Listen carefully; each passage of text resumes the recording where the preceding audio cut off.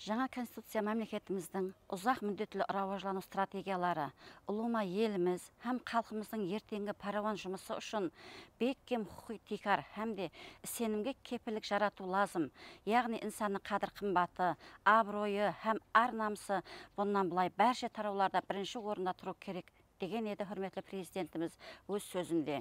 Әлбетте жаңа өзбекстан конституциямызға кіргізіліп атырған айрым өзгерістер халқымыздың пікір ұсыныстары тикарында қалыптастырылып барлық тарауларда бұнан жоғары имканият һәм жаңалықтарды жүзеге келтіруіне сенеміз. Жаңа конституциямызда бұқараларымыздың жаңа һәм заманауи көзқарасы өз көрінісін тауып олардың елі де бақытлы һәм өмірден разы болып жасауына тикар болып қызмет етеді деген үміттемін. Әлбетте президентіміз айтқандай халқымыздың саяси құқи санасының көрінісі болған жаңаланған конституциямызға сүйеніп жаңа өзбекстанды әлбетте біргелікте құрамыз. Біз бұл бағдарда ел басшыларымызға қолқанат боламыз.